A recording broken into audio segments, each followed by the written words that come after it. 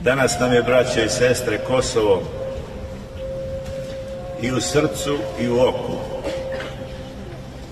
I bolje da izgubimo oko nego da se odreknemo Kosova. I nećemo se odreći.